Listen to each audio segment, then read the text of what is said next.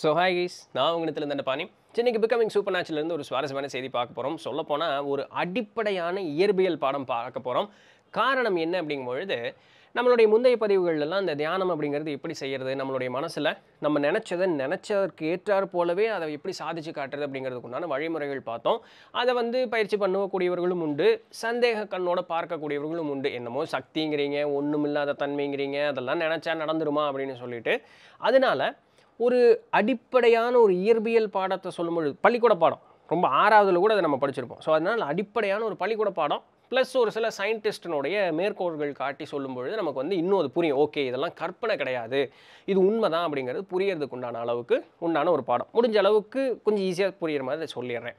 Right இப்போ பார்த்தோம்னா நம்மளை சுற்றி நமக்கு வந்து எப்போவுமே இந்த மின்காந்த அலைகள் அப்படிங்கிறது இருந்துக்கிட்டே தான் இருக்குது எல் எலக்ட்ரோ மேக்னெட்டிக் ஃபோர்ஸ் அப்படிங்கிறது எப்போவுமே நம்மளை சுற்றி இருந்துக்கிட்டே தான் இருக்குது இதை வந்து ரொம்ப இன்னும் மைன்யூட்டாக பார்க்கணும் அப்படின்னு வச்சுக்கோங்களேன்.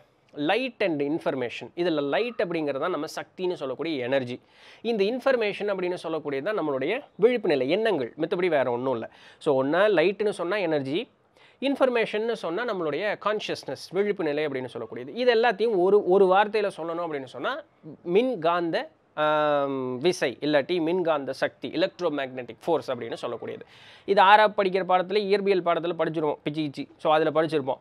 இது நம்மளை சுற்றி எப்பவுமே இருக்குது நமக்கு வெளியும் இருக்குது நமக்கு உள்ளேயும் இருக்குது சொல்லப்போனால் அந்த எலக்ட்ரோ மேக்னெட்டிக் ஃபோர்ஸ் தான் நம்மளுடைய உடலில் நடக்கக்கூடிய எல்லா விதமான கெமிக்கல் ரியாக்ஷன்ஸ் மைண்டு வந்து சிக்னல்ஸ் சென்ட் பண்ணுறது எலக்ட்ரிக்கல் சிக்னல்ஸ் எல்லாம் ஸ்பெண்ட் பண் சென்ட் பண்ணிகிட்டே இருக்குது இதுவும் ஆறாப்பு பயாலஜி பாடத்தில் வந்துடும் சரி இதில் எந்த விதமான மாற்றமும் இல்லை. கண்ணுக்கு தெரியல ஆனால் அது உண்மையாலுமே இருக்குது சரிங்களா? இதில் நம்ம நம்புகிறோம் இதே மாதிரி தான் பார்த்தீங்க அப்படின்னு சொன்னால் இந்த ரேடியோ வேவ்ஸ் எல்லாம் இருக்குது பார்த்தீங்களா அது மாதிரி தான் அதுவும் நம்ம கண்ணுக்கு தெரியறதில்ல. ஆனால் அது இன்றைக்கி இருக்கு இல்லையா? இப்போ நம்ம ஒரு இடத்துல வந்து ஒரு ரேடியோ இப்படி டியூன் பண்ணுறோம் ஒரு அலைவரிசை ஒன்று வருதா? அதற்கு உண்டான அந்த எப்படி வருது? ஒரு எனர்ஜி இன்ஃபர்மேஷன் அப்படி வருது இந்த இடத்துல. அதற்குண்டான அளவுக்கு நம்ம அந்த எனர்ஜி ஃப்ரீக்வன்சியை டியூன் பண்ணோம் அப்படின்னு சொன்னால் அந்த வந்துட்டு இருக்கக்கூடிய அந்த ஒரு எனர்ஜியில் வரக்கூடிய அந்த இன்ஃபர்மேஷனை அதை அழகாக இப்படி கிராஸ் பண்ணி அதை வந்து வெளியே நமக்கு டிரான்ஸ்மிட் பண்ணுது. அதே போல் அந்த டியூனிங்கை வந்து நம்ம மாற்றுறோம் வேறு ஒரு அலைவரிசைக்கு கொண்டு வரோம்னா அந்த அலைவரிசைக்கு ஏற்றாற் போல் என்ன ஒரு இன்ஃபர்மேஷன் வந்ததோ என்ன ஒரு சக்தி அந்த இடத்துல வருதோ அந்த சக்தி உள்ள கிராப் பண்ணி நமக்கு வந்து வெளியே வந்து இன்ஃபர்மேஷன் அப்படிங்கிறத கொடுக்குது. இதே போல தான் ஒளிக்கற்றை அப்படின்னு சொல்லக்கூடியது அதாவது லைட் ஸ்பெக்ட்ரம் அப்படின்னு சொல்லுவாங்க. நம்ம வந்து அல்ட்ரா வயலட் ரேஸ் சொல்கிறோம் அதுக்கப்புறம் வேறு என்னென்னமோலாம் போட்டிருக்கோமே gamma rays x-ray rays infrared radio waves இந்த மாதிரி நிறைய விஷயங்கள். ஒளிக்கற்றைகள் லைட் ஸ்பெக்ட்ரம் அப்படின்னு சொல்லக்கூடியது. இவர் என்ன டாக்டர் சொல்கிறார் அப்படின்னு சொன்னால் இன்றைக்கி நம்ம கண்ணு கொண்டு பார்க்குறத கண்ணு கொண்டுனா இன்றைக்கி ஆராய்ச்சியாளர்கள் கண்டுபிடிச்சி காட்டுறாங்க பார்த்தீங்களா அது முதல் கொண்டு எல்லாமே மொத்த ஒளியினுடைய அத்தனை சக்தியில் வெறும் ஒரு சதவீதம் தான் நம்ம பார்க்குறோம் அப்படிங்கிறாங்க. நம்ம பார்க்கக்கூடிய நிறங்கள் அத்தனையுமே ஒரு மொத்த ஒளியினுடைய மொத்த சக்தியில் ஒரே ஒரு சதவீதம் தான் நம்ம பார்க்குறோம். அப்போ நம்ம பார்க்காத தொண்ணூற்றி ஒன்பது சதவீதம் அலைக்கற்றைகள் இந்த ஒளியினுடைய நிற வேறுபாடு அப்படிங்கிறது இருக்குது அப்போ அதெல்லாம் பார்த்தா எப்படி இருக்கும்? அப்போ அந்த இடத்துல இருந்து வேலை செய்யக்கூடிய சக்திகளும் அதை உருவமாக கொண்ட அந்த சக்திகளும் அங்கே இருந்தாங்கன்னா அவர்கள் எப்பேற்பட்டவர்களாக இருப்பாங்க? அவங்க நம்ம பக்கத்தில் இருந்தாலும் கூட நமக்கு தெரியாது. அவர்கள் ஏதாவது பேசினாலும் கூட நமக்கு கேட்காது. காரணம் என்ன? இந்த உடலுக்கு இதை தான் பார்க்க முடியும் இதை தான் கேட்க முடியும் இதை தான் செய்ய முடியும்னு சொல்லக்கூடிய ஒரு சில கட்டுப்பாடுகள் அப்படிங்கிறது உண்டு. ஆனால் இந்த கட்டுப்பாடுகளை மீற முடியாது அப்படிங்கிறது கிடையாது. மீற முடியும்.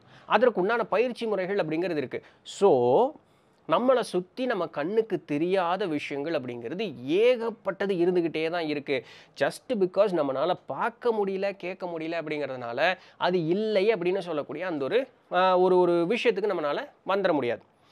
கை அடிபட்டுருச்சு கால் அடிபட்டுருச்சு என்னமோ ஒரு பிரச்சனை உடலுக்கு. எக்ஸ்ரே எடுக்கிறதுக்கு ஓடுறோமா? டாக்டர் சொல்லி அனுப்புகிறார்ல எக்ஸ்ரே யாரு கண்ணுக்காவது தெரியுதா? யார் கண்ணுக்கும் எக்ஸ்ரே அப்படிங்கிறது தெரியறதில்ல. ஆனால் அந்த எக்ஸ்ரே கண்ணுக்கே தெரியலைனாலும் அதை மனிதன் இன்னைக்கு உருவாக்குறான் அவனால் க்ரியேட் பண்ணிக்க முடியும் அதை வந்து அளக்கிறான் அதை வந்து படம் பிடிக்கிறான் எல்லா வேலையும் மனுஷனால் பண்ண முடியும் அப்போ கண்ணுக்கு தெரியாத ஒரு விஷயத்த மனிதன் இன்னைக்கு கை கொண்டு அந்த ஒரு வேலையை செஞ்சுக்கிட்டு இருக்கான்ல? Ultraviolet rays ultrasonic sound infrared rays நம்ம இந்த முதல்ல இந்த ப்ளூடூத் ப்ளூடூத் எல்லாம் வரக்கு முன்னாடி இந்த இன்ஃப்ராரெட்டில் அனுப்புவோம் தெரியுமா? டேட்டா எப்படி ட்ரான்ஸ்ஃபர் ஆகுது? கண்ணுக்கு தெரிஞ்சுதா? தெரியல. ஆனால் அது ரெட் கலரில் ஏதோ இருக்குடா அப்படி இருக்குடா இன்ஃபர் இது ட்ரான்ஸ்ஃபர் ஆகுதுடா மொபைலில் பண்ணியிருக்கோமா? அப்போ நம்ம கண்ணுக்கு தெரியாத விஷயங்கள் ஒரு சிலதை மனிதன் தன்னுடைய கைக்கு இன்றைக்கு வரைக்கும் அவன் கண்ணுக்கு தெரியல. வேற ஒரு டிவைஸை வச்சு தான் அவனை வந்து அது யூஸ் பண்ணிக்க முடியும். பட் ஸ்டில் அவனுக்கு ஒரு ஊர்ஜிதமாக ஒரு விஷயம் தெரியுது. ஓகே இது இருக்குது அப்படின்ட்டு. இதே போல தான் எண்ணங்களும். எண்ணங்களுக்கு ஒரு சக்தி ரூபமாக தான் எண்ணங்கள் அப்படிங்கிறது முழுக்க முழுக்க வேலை செஞ்சுக்கிட்டு இருக்கு. இந்த எண்ணங்கள் நம்ம கண்ணுக்கு தெரியறதில்ல ஆனால் நமக்குள்ள வந்துக்கிட்டே இருக்கு. இந்த எண்ணங்கள் சக்தி ரூபமாக வெளிப்புறமாக போய்கிட்டே இருக்கும். இது எந்த மாதிரி எண்ணங்கள் நம்ம செலுத்துகிறோமோ அந்த எண்ணங்களினுடைய சக்தி வெளியே போய்கிட்டு இருக்கிறது மட்டும் இல்லாமல் அது யாரை வேணாலும் போய் தாக்கும். அந்த எண்ணத்தினுடைய வீரியத்தை பொறுத்தது. அது மட்டும் இல்லாமல் இந்த எண்ணத்தினுடைய சக்தி நம்மளுடைய உடலுக்கும் ரிட்டன் வந்து இங்கே தாகும் ஸோ இப்படி போகணும்னு வச்சுங்களேன் உடலுக்கு உள்ளேயும் வரும் உடலை விட்டு வெளியவும் போகும். அப்போ வெளியே போகிறது நல்லதாக இருக்குன்னா உடலுக்குள்ளேயும் நல்லது நடக்கும். வெளியே போகிறது வந்து கெட்டதாக இருக்குன்னா உடலுக்குள்ளேயும் கெட்டது நடக்கும். இவ்வளோதானே இதில் பெரிய ஒரு கஷ்டமான ஒரு லாஜிக் அப்படிங்கிறது ஒன்றும் கிடையாதுல்ல. இதை தான் நம்ம ஃப்ரீக்வன்சி அண்ட் வேவ் லெங்க் அப்படின்னு சொல்கிறோம் அப்படின்னா என்ன? இப்படி அலை ஒன்று இப்படி இருக்கா? இந்த இது இது பேர் அலைவரிசை ஃப்ரீக்வன்சி சரிங்களா? வேவ் எனக்கு தமிழில் தெரியல. இந்த ஃப்ரீக்வன்சி இப்படியே போய்கிட்டே இருக்கும் பொழுது ஹையர் ஃப்ரீக்வன்சி வேகமாக நிறைய ஒரு பவரான அதிகமான பவரோட ஒரு ஃப்ரீக்வன்சி போகுதுன்னு வச்சுக்கோங்களேன். இந்த வேவ் பேட்டர்ன் வந்து நெருக்க நெருக்கமாக இருக்கும். ஸோ வேவ் லென்த் ரொம்ப குறவாக இருக்கும். So higher frequency lower wavelength wavelength என்ன? இப்படி ஒரு மேடு இருக்குது இந்த மேட்டினுடைய ம- மத்திய பகுதியிலேருந்து இப்படி கீழே வந்து அடுத்த அடுத்த மேட்டினுடைய மத்திய பகுதி. ஸோ இந்த முதல் மேட்டு புள்ளிக்கு இந்த மேட்டு புள்ளிக்கு நடுவில் இருக்கக்கூடிய லெங்க் இருக்கு பாருங்கள் அதுக்கு பேர் வேவ் லெங்த் இது வேவு இதுக்கு நடுவில் இருக்கக்கூடிய லெங்க் ஒரு புள்ளியிலேருந்து அடுத்த புள்ளிக்கு. ஹையர் ஃப்ரீக்குவென்சினா இந்த வேவ்ஸ் வந்து ரொம்ப நெருக்கமாக இருக்கும். அதிகமான சக்தி இருக்கும். So wavelength lower frequency அப்படின்னு சொன்னால் வேவ் லென்த் அதிகமாக இருக்கும். ஸோ இது இதுதான் பேட்டர்ன் இந்த நெகட்டிவ் திங்கிங் அப்படின்னு சொல்கிறேன் கண்ணுப்பட்டு போச்சு அப்படின்னு நம்ம சொல்கிறோம் தெரியுமா? இந்த நெகட்டிவ் எனர்ஜி லோவர் ஃப்ரீக்வன்சியில் இருக்கும். வேவ் லென்த் ரொம்ப பெருசு. அது வந்து சாணி மாதிரி அப்பிக்கும். அது அவ்வளோ சீக்கிரம் போகாது. அதனால தான் நம்ம இந்த சுற்றி போடுற வேலையில் ஒரு சில எக்ஸ்டர்னல் விஷயங்கள் தேவைப்படுது. ஆனால் நல்லது சொல்கிறது அப்படிங்கிறது ஹையர் ஃப்ரீக்வன்சி அது நம்மளுக்கு உள்ளே வந்து அப்படி ஊடுருவி அது ஈஸியாக வெளியே போயிடும் அதை தக்க வைக்கிறதுக்கு நம்ம கொஞ்சம் மெனக்கடணும். இல்லை தொடர்ந்து அந்த நல்லதை வந்து நம்ம பார்க்கணும் பேசணும் சிந்திக்கணும் செயல்படணும் இந்த மாதிரி எல்லாம் பண்ணும்பொழுது தான் அது நமக்குள்ளே ஸ்டோர் ஆகும். இதனால தான் நிறைய இந்த ஆன்மீக பயிற்சிகளை தொடர்ந்து செய்யுங்க அப்படின்னு சொல்கிறாங்க நெகட்டிவான ஒரு விஷயம் எதிர்மறையான ஒரு விஷயம் ஒரு எள்ளளவு ஒரு இம்மி அளவு ஒரு பொட்டு அளவு டக்குன்னு இப்படி வந்துருச்சு அப்படின்னு சொன்னால் நம்மகிட்ட ஒட்டிக்கும். அது அவ்வளோ சீக்கிரம் நம்மளை விட்டு போகாது. அதனால தான் ஒரு விஷயம் தவறுன்னு தெரிஞ்சாலும் அதை விடுவது கடினம் ஒன்று சரின்னு தெரிஞ்சாலும் அதை பின்பற்றுவது கடினம்.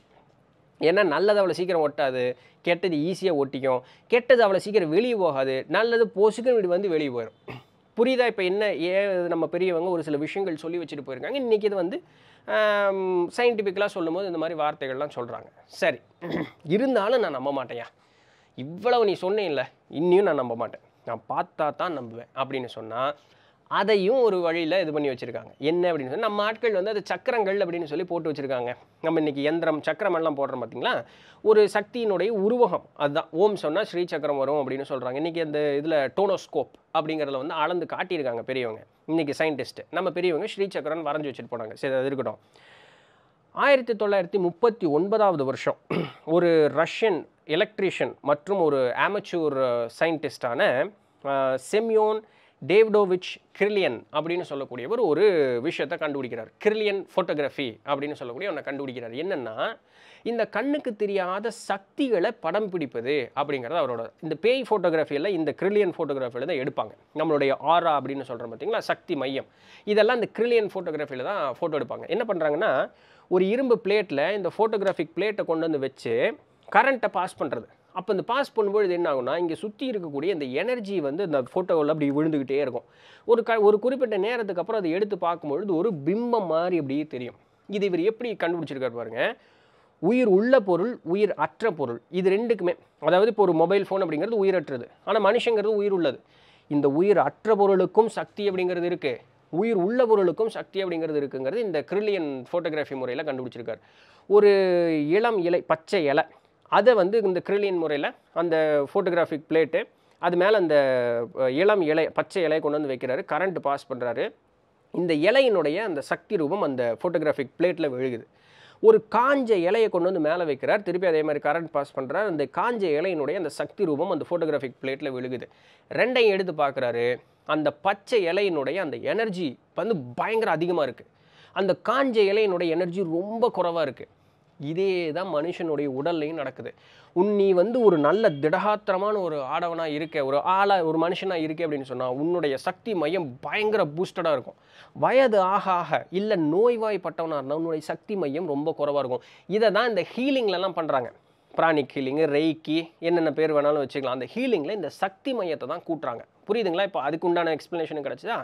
இது கிரில்லியன் ஃபோட்டோகிராஃபி இன்றைக்கி இன்றைக்கி சயின்ஸ் அதை ஒத்துக்குது. கிரில்லியன் ஃபோட்டோகிராஃபி இன்றைக்கி நிறையா வந்து யூஸ் பண்ணிருக்காங்க எங்கெல்லாம் யூஸ் பண்ணுறாங்க பாருங்கள் நம்மளுடைய அணுக்களில் வந்து இந்த சக்தி மையம் எப்படி வேலை செய்யுது?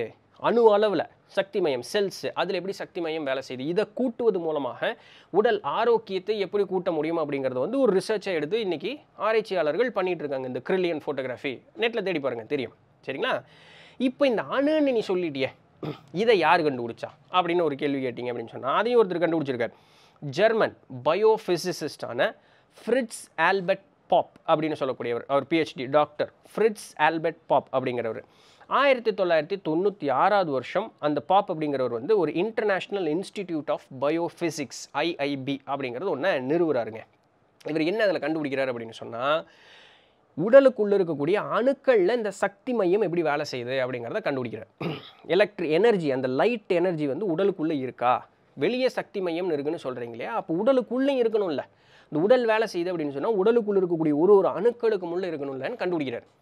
இதை வந்து அவர் முப்பது வருஷமாக ரிசர்ச் பண்ணுறார் த்ரீ டெக்கேட்ஸ் முப்பது வருஷம் ரிசர்ச் பண்ணி எடுக்கும் பொழுது அவருக்கு என்ன ஒரு விடை கிடைக்கிது அப்படின்னு சொல்லி பார்த்தோம்னா இன்னைக்கு கூட நம்மளுடைய பாடத்திட்டத்தில் என்ன இருக்குன்னா ஒரு அணுவும் இன்னொரு அணுவும் ஒரு தகவல் பரிமாற்றம் பண்ணுவதன் நடுவில் ஒரு சார்ஜ் மாலிகுல்ஸ் ஏதோ ஒரு எனர்ஜி பார்ட்டிகள் இருக்குது இந்த அணு இந்த எனர்ஜி பார்ட்டிகளுக்கு ஒரு மெசேஜ் கொடுக்கும். இந்த மெசேஜை இந்த எனர்ஜி பார்ட்டிகள் இன்னொரு அணுவுக்கு கொடுக்கும்னு நம்ம சொல்லி தந்துட்டுருக்காங்க பாடத்தில். ஆனால் ஆயிரத்தி தொள்ளாயிரத்தி தொண்ணூற்றி ஆறாவது வருஷத்துக்கு முன்னாடியே அந்த ஃப்ரிட்ஸ் அப்படிங்கிறவர் வந்து கண்டுபிடிச்சிட்டார். ஐயா இந்த மாதிரி நடுவில் ஒரு தேர்ட் பார்ட்டி எனர்ஜி பார்ட்டிகள்லாம் கிடையாது. ஒரு ஒரு அணுவுமே ஒரு சக்தி ரூபம் அது ஒரு ஒளி ஒளி பிம்பம் அதை வந்து சூழ்ந்திருக்கு. அந்த எனர்ஜி நம்ம வந்து நம்மளுடைய அந்த சக்தி பிம்பம்னு சொல்கிறோம்ல இது ஒரு ஒரு அணுவிலையும் சூழ்ந்திருக்கு.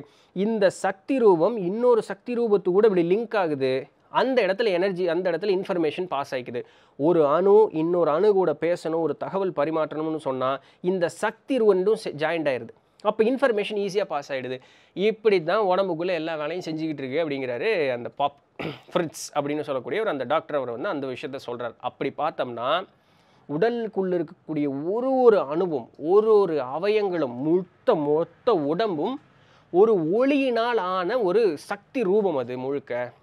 இந்த சக்தி ரூபம் நீ எப்படி அதை வந்து வேலை செய்ய வைக்கிறேங்கிறத பொறுத்தது வேலை செய்யும். நீ நெகட்டிவிட்டியை போட்டு தாக்குனேன்னா சக்தி ரூபம் குறைஞ்சு போயிடும் பாசிட்டிவிட்டியை போட்டு பயங்கரமாக தாக்குனேன்னா நீ வந்து முழுக்க ஒரு சக்தி வாய்ந்தவனாக நீ இருப்ப. உன்னுடைய எண்ணங்கள் எப்படி இருக்கோ அதை பொறுத்து இந்த சக்தி ரூபங்கள்ங்கிறது முழுக்க முழுக்க மாறும் அப்படிங்கிறார். அப்போ நீ இந்த உலக விஷயங்கள் கூட பயங்கரமாக ஃபோக்கஸ் ஆகி ஐயோ அது அப்படி இருக்கு இப்படி இருக்கு அந்த ஸ்ட்ரெஸ் அந்த இதுன்னு போட்டேன்னா உன்னுடைய சக்தி ரூபம் முழுக்க முழுக்க உன்னுடைய எண்ணங்கள் எங்கே போகுதோ சக்தி அங்கே தான் போகுது. முழுக்க முழுக்க ஒரு இடத்துல போய் விழுந்துரும் உன்னை சுற்றி இருக்கக்கூடிய வேறு எந்த எனர்ஜியுமே உன்னால் அனுபவிக்கவே முடியாது. அதனால தான் சுகமாக இருக்கிற இடத்துலையே கூட போய் ஒருத்தங்க ஒருத்தனால் புலம்ப முடியும்னா அவனால் முடியும். அந்த சுகத்தை அவனால் அனுபவிக்கவே முடியாது. அவனுடைய ஃபோக்கஸ் எல்லாம் எங்கே இருக்கும்? புலம்புறதுல மட்டும்தான் இருக்கும். அந்த சுற்றி இருக்கக்கூடிய மகிழ்ச்சியை அவனால் அனுபவிக்க முடியாது. இது உடலுக்கு உள்ளும் நடக்கும் பொழுது அவனே நோய்வாய்ப்பட்டு போகிறான் அப்போது ஒரு இடத்துல கான்கேவ் லென்ஸ் மாதிரி இப்படி கா சாரி கான்வெக்ஸ் லென்ஸ் தானே?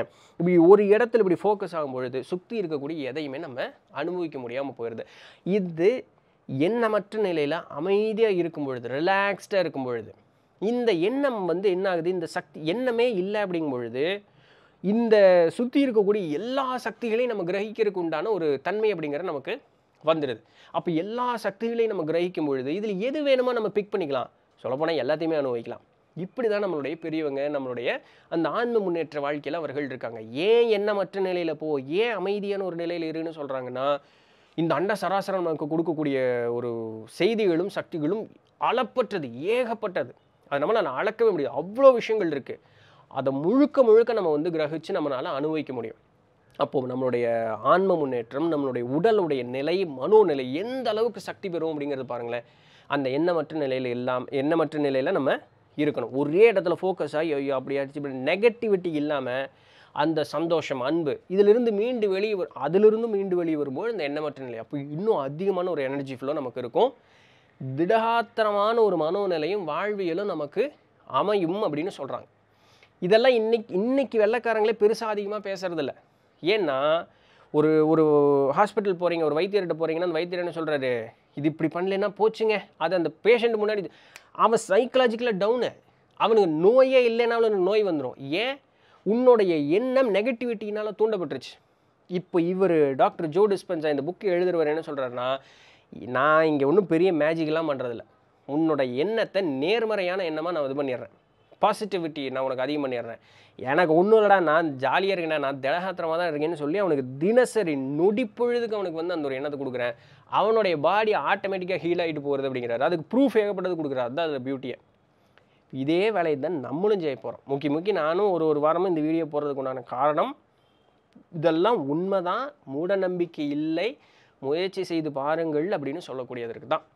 அடுத்து வரக்கூடிய பதிவுகள் ஒரு சிலது சுவாரஸ்யமாக இருக்கும். நம்மளுடைய சக்கரங்கள் எல்லாத்தையும் எப்படி இது பண்ணுறது அப்படின்னு அடுத்து ஒரு ஒரு பதிவுகளில் அதெல்லாமே வரும். ஸோ கவனமாக ஸ்கிப் பண்ணாமல் இந்த சீரீஸை பாருங்கள் பேருதவியாக இருக்கும். இன்றைக்கு உண்டான வீடியோ உங்களுக்கு இன்ஃபர்மேட்டிவாக இருந்திருக்கும். பிடிச்சிருந்திருக்கும் அப்படின்னு நம்புறேன். நாளைக்கு வேறு ஏதாவது ஒரு சுவாரஸ்யமான செய்தியில் சந்திப்போம். அது வரையும் தொடர்ந்து நிறுத்துங்கள் நான் உங்களிடத்தில் இருந்த பண்ணி நன்றி. வெற்றி வெற்றிவேல் வெற்றிவேல் வெற்றிவேல்